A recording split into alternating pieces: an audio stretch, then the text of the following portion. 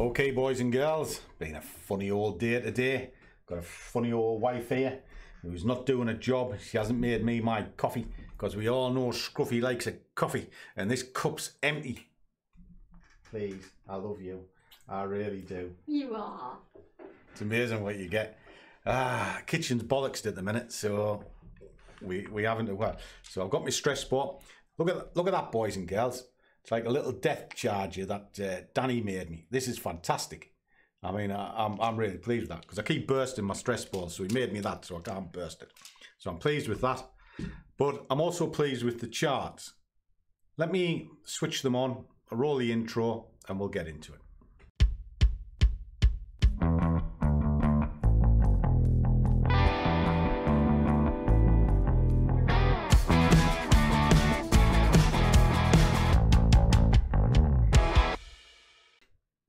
Okay, and a warm welcome to one and all. What we'll see, we have an order coming in now based on this blue line. Now, what I've been doing this morning is I wanted to take the squad through a whole process. Now, when you're watching the charts, you often think that these things are done in minutes. They're not. They can take hours. We're currently at 10 past 11 and I've been tracking this since seven o'clock this morning, and I started it properly at nine o'clock. Let me kind of give you an idea of what that tracking is. So the first thing I do early morning, as you can see, my day starts around 6 a.m. Now I've done the gold trades, etc. this morning for the small account. And it's done quite well, which is on this. This is the BlackBull account that we're building up from 200 quid. Now, this, I've already had a thousand pounds out of it, went back to 200, and I've got it back up to 91, um, well, just call it 920. But I've already had 289 out of it. And it's because of little moves like this. You get in, you get out, you get your job, right?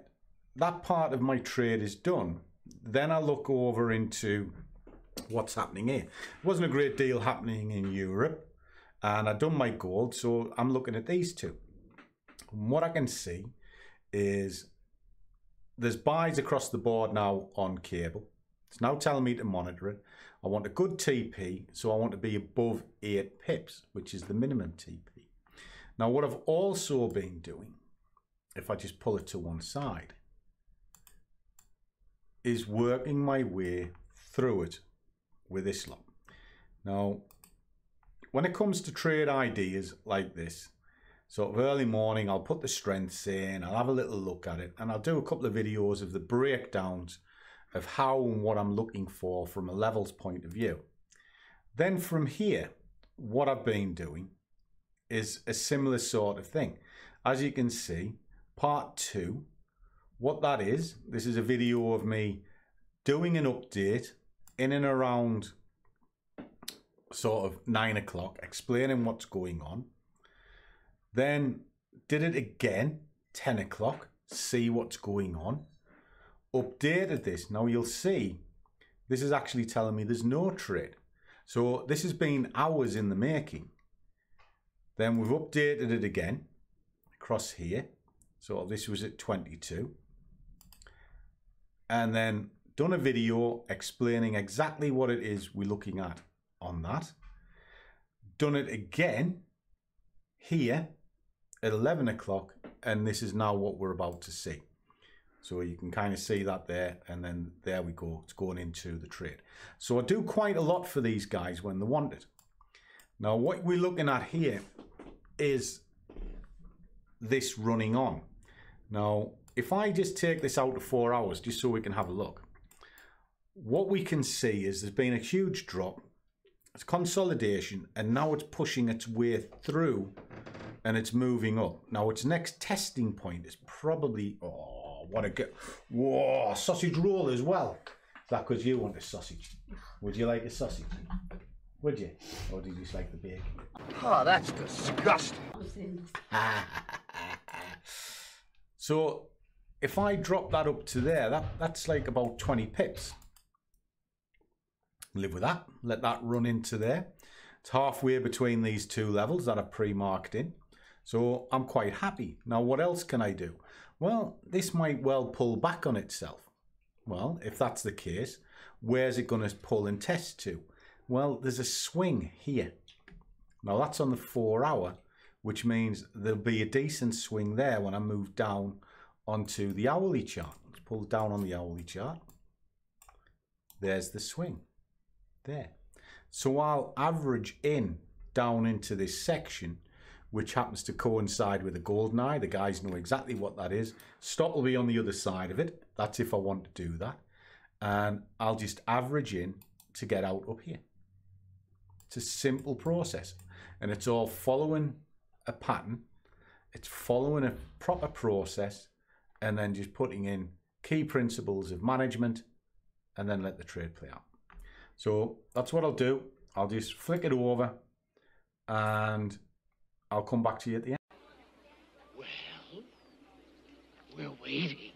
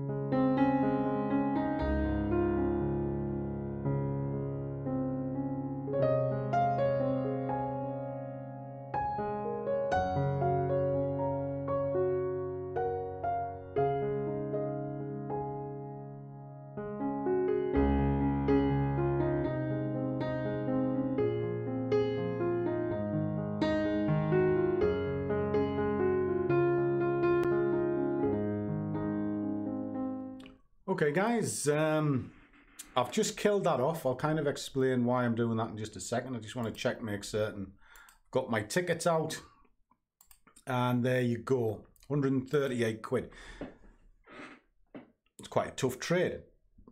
Markets are not moving particularly quick. It's stretched up and it's now showing signs that this may well reverse. Why? If you look at indicators, etc., they're incredibly stretched. Now, this may well start pushing on up, but I've got a fair idea it's going to come back on itself a little bit before it moves higher. If that's the case, I was so close to the target, in other words, just a couple of ticks, I'm not bothered. I'll just take the money. So if I pop this out to the hourly, you'll see that it's pushed up and you can see the tail coming in on the hour up there for all this might well do that. Okay, see where it's pushed up again, pushed up, small body, and then it comes back and then pushes up again. Just bank your cash. Now, what I've done today is an exercise in time. Like I say, I started this strength sheet probably just on seven o'clock this morning, kept half an eye on it, watched it till around nine o'clock, then decided that, okay, the open's over, time to go into it. And then it took time to find a half decent point where I thought the market might go for me. Well, that was 11 o'clock. So that took quite a few hours from first doing the strengths to finding some kind of trade criteria. And it's now 10 past one so from 11 till now, so that's another two hours just to get my money. Now, the market is pushing up a little bit.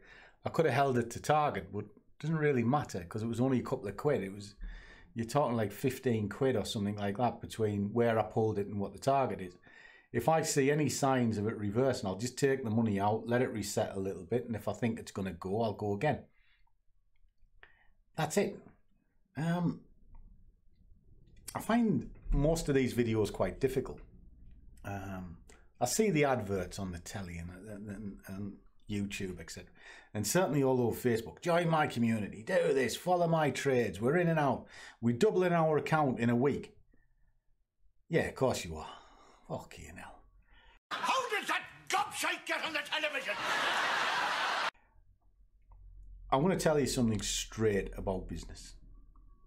The reason businesses fail is undercapitalization and over expectation. You've heard me say this before. If you want to double 100 quid, that's brilliant. You're going to get 200 back. But if you've got 10,000 in to try and double that 10,000 in a week, that is a tall order. And then you've got to ask yourself, how many times can you do it? Not many. Why? Because there would be multi billionaires all over the planet if it was possible. And that's because it's not. Trading is a slow, steady path. I told you before, trading's not difficult. It really isn't. You know, I proved that this morning for the guys. The hard part has been and always will be you. You over expect what you're getting, you put too little into the market, and you think you're going to get fortune out. You can't do it, so you kick off. And then you kick off because you're angry and depressed. Not at the system, not at the chart, and not at the person who showed you how to do it, but yourself. But you take it out on other people. And then you try to go back to the market with the wrong mindset. You're going back in through anger and fear and one thing and another. And it all stems from an over expectation and undercapitalization. You need to invest in yourself. Now, that's through your education, not necessarily money, but certainly time. And you need to invest in working out what your mindset is. You can't control your mindset, you'll never control a chart. And that's why 90% of you shouldn't be doing this job. I even told the group at the, at the weekend, they're not going to make it, so cancel the subscriptions. Don't be part of the group because you're not going to make it. And why did I do that? Because I do that group as a passion project. Doesn't pay me anything, not really. I do it because I want to genuinely help the guys. And I told them this from the heart. I don't want them chasing false dreams. Don't get me wrong, there's certain elements in there that have got a good opportunity, they're going to make it. There's certain elements come in that are like Joe Public, where they'll just scoff at you and insult them. Well, you only ever insult me once and I'll just ignore you. Doesn't bother me because uh, it's no benefit to me. And I'm not going to help somebody who insults me. It's that simple, you know. And I'm like that in the public world as well. You insult me and then you contact me. I don't care who you are, I'll cut you dead you know. But I'm like that in life. Why? You look after those who look after you. And a leopard never changes its spots. Always remember that, guys. Always remember that. I know I get on a rant every once in a while about this, and I do. I haven't had a good rant for ages because maybe I'm getting mellow in my old age.